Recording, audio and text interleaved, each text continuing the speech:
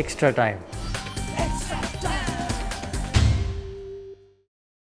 মিষ্টি এবার নতুন চেহারা আর নতুন স্বাদে। মিষ্টি কথা বাংলার নতুন মিষ্টি। পয়েন্ট গোল পার্থক্য গোলের সংখ্যা সব দিক থেকেই এগিয়ে রয়েছে মোহনবাগান।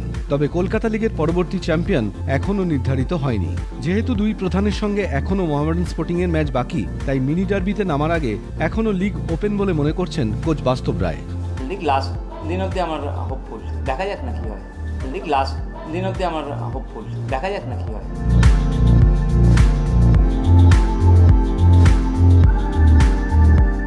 তাই পিয়ারলেস ম্যাচের হার ভুলে সাদা কালোর বিরুদ্ধে স্ট্র্যাটেজি সাজাচ্ছেন টিজি সুভাষ ভৌমিক।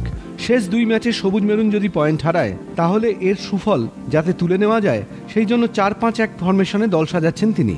কারণ মঙ্গলবার যুবভারতী ক্রীড়াঙ্গনে যে তার বিপক্ষে ময়দানে জায়েন্ট কিলার রঘুনন্দী রয়েছেন। গুড টিম বিগ টিম, ভালো টিম, ওরা সবসময় ফাইট দেবে। আমাদের শক্ত ম্যাচ। জনি অ্যাকোস্টার মাঠে নামার আগে সাত ম্যাচে মাত্র একটি গোল খেয়েছিল ইস্টবেঙ্গল তবে কোস্টারিকার এই বিশ্বকাপারের উপস্থিতিতে শেষ দুটি ম্যাচে চারটি গোল হজম করেছে দল। তবুও বাস্তব কিন্তু তার তারকা ডিফেন্ডারের পাশেই দাঁড়াচ্ছেন। তবে একই সঙ্গে জানিয়ে দিলেন যে এটা তার দলের কাছে must win game must win game আর কি বলব? ইস্ট বেঙ্গল ক্লাব সে হতেই পারে বিশ্বকাপের আগে গোল খায় না। এর আগে কি বিশ্বকাপের গোল খায়নি? না কোন বিশ্বকাপে গোল হয় না। আর ইস্ট বেঙ্গল ম্যাচ যখন খেলতে নামতে তোমাকে মাস্ট উইন গেম তোমাকে জিততেই হবে।